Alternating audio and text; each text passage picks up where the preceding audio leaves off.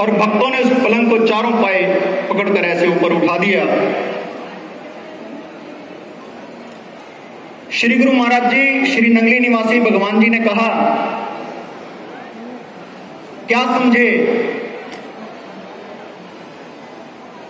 सबने हाथ जोड़ दिए कि प्रभु ये लीला हमें समझ में नहीं आई तो उन्होंने फरमाया उन्होंने कहा कि जिस प्रकार आप मुझे इस वक्त अपने सर पर देख रहे हो, मैं तुम्हारे सर पर मौजूद हूँ। मैं सदा इसी तरह तुम्हारे सिर के ऊपर रहूँगा। मुझे ऐसे ही मानना, क्योंकि मैं कण कण में हूँ, मैं जर्रे जर्रे में हूँ। मुझसे अलग कोई भी नहीं आज अगर हम लोगों को उनका कहीं अभाव नज़र आता है, या जिसको वो अनुभव नहीं होता है, जिसको उनकी अनुभूति नहीं है,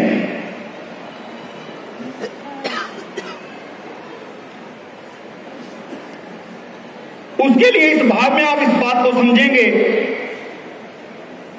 कि कोई फकीर अपने शिष्य के साथ जा रहा है बाज़ार में और उस बाज़ार में बहुत भीड़ है, बहुत सारी दुकानें हैं और सब अपना सामान बेचने में लगे हुए हैं।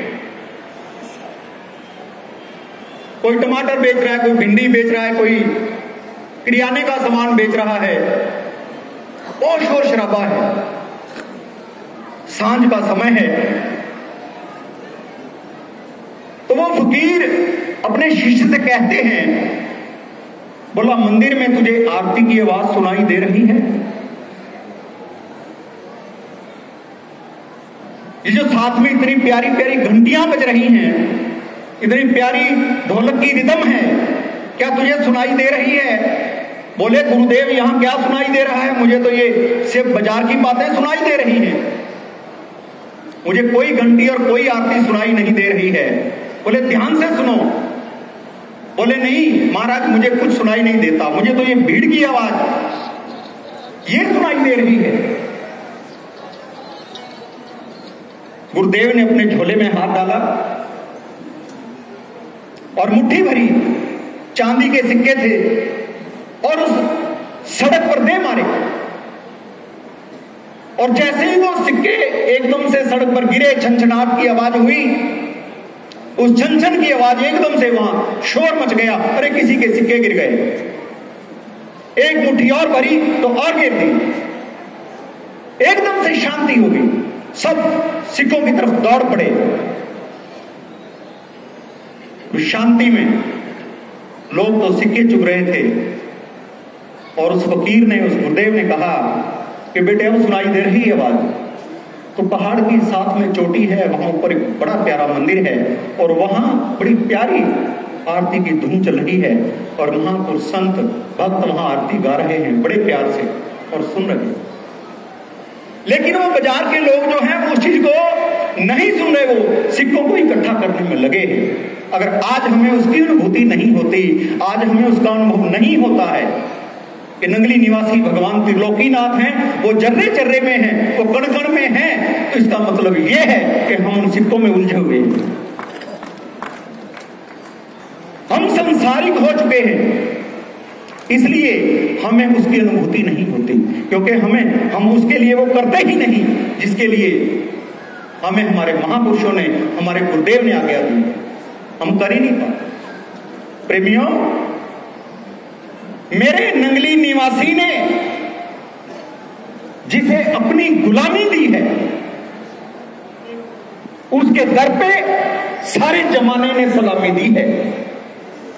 मेरे श्री निवासी भगवान ऐसे हैं, जो उनका अनुभव करते हैं, जो उनको हर समय अपने सिर के ऊपर देखते हैं, जो हर समय उनको अपने अंग संग मानते हैं, वो उनसे कभी अलग हुए ही नहीं थे।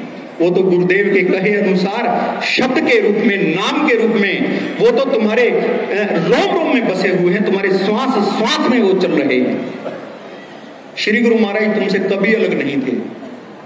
ना कभी अलग हैं और ना कभी अलग तुमसे होंगे। केवल अपने गुरुदेव के कहे वचनों के अनुसार चलो।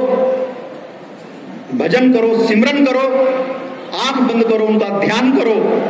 तो प्रेमियों, आप जिस रूप में भी उनको देखना चाहोगे, वो आपको उसी रूप में नज़र आएँगे। बस इतना ही कहना है, यही संदेश है, और ये सदियों से, और ये तो मैं कहूँ कि जन्मों जन्मों से, न जाने कब से, कई युगों से यही संदेश चला रहा है। भजन करो, ध्यान करो, सिमरन करो, गुरुदेव के कहे वचनों पर चलो तो जीवन सदा सदा धन्य हो जाएगा। बोलिए जयकारा, बोल मेरे श्री गुरु महाराज की।